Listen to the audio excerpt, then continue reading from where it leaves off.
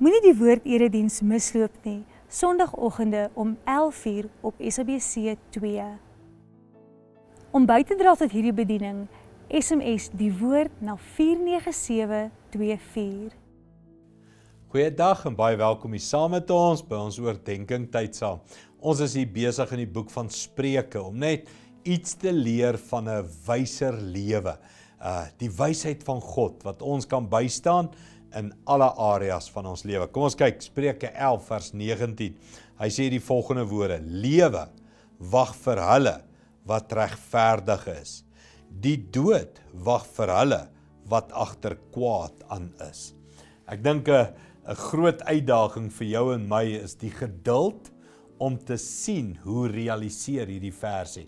Ek dink as dit vinnig gebeur het, dan was dit baie makliker om dit te leef, nê? Nee, jy maak foute, woep woep, daar kom jy dood, daar kom jy pak sla, ek sal dit nie weer doen nie. Ek doen reg. Ooh, hier kom die seën. Dis maklik. Dis vinnig, ek weet dit werk. Die probleem is hierdie versie vat geduld. Dit vat baie keer jare. Ek dink in ons omstandigheid van ons land. Ek dink in my lewe, jou lewe, ons almal se lewe. Ons maak foute en gelukkig is daar genade en ons kry nie dadelik die dood nie. Maar ons doen ook goeie goed en daar's geduld en ons kry ook nie dadelik die seën nie. So vir hierdie vir hierdie versie om in my lewe te realiseer, is dit hierdie volhoubare geloof van hou aan goed doen. Daar's lewe, daar's 'n geskenk van lewe op die einde. En byt maar vas. Mense wat verkeerd doen, die Bybel sal waar word. Die dood sal inskop en die straf sal kom.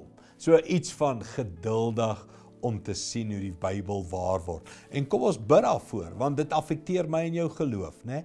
Ons wil dit vinnig sien. As daar straf is, as ek droog maak, dan hou ek op droog maak. Maar as niemand praat nie, as niemand dit sien nie, dan doen ek dit weer 'n keer en weer 'n keer. So kom ons glo die Bybel. Lewe wag vir die wat reg doen en die dood en die straf wag vir die wat verkeerd doen. Kom ons bid vir daai geloof. Hemelse Vader, dankie dat U ons help met hierdie geduld, hierdie geloof om U woord te sien uitspeel in ons lewe. Here, vergewe ons vir die tye wat ons dit vinnige resultate soek.